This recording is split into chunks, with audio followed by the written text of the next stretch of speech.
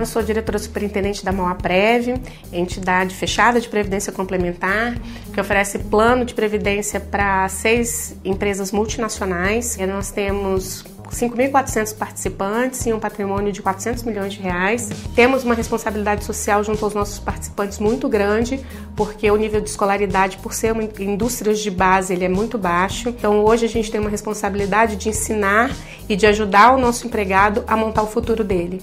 Então a gente trabalha isso de uma maneira muito pesada.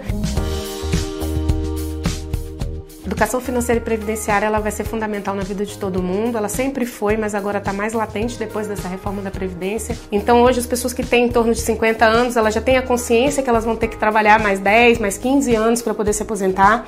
Mas as pessoas que estão entrando no mercado de trabalho, elas não têm essa consciência ainda. Então acho que a nossa responsabilidade hoje é muito mais com esse público que está chegando no mercado de trabalho agora e não tem essa questão de previdência ainda muito consolidada, porque isso não é ensinado nas escolas escolas no Brasil e a gente tem que, desde o início, desde o começo da carreira dessas pessoas, colocar isso como uma questão primordial. É muito importante você é, cuidar do seu presente, né? cuidar do, da sua vida naquele imediato, mas pensar como é que vai ser o seu futuro é cada vez mais essencial.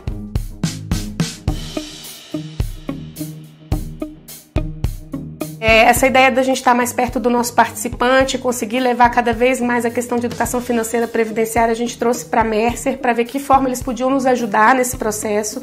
E a gente está muito junto, é, inovando e trazendo sempre uma linguagem muito mais fácil, muito mais tranquila, um acesso muito mais fácil no, no site, para que eles consigam entender isso de uma forma clara, transparente e precisa.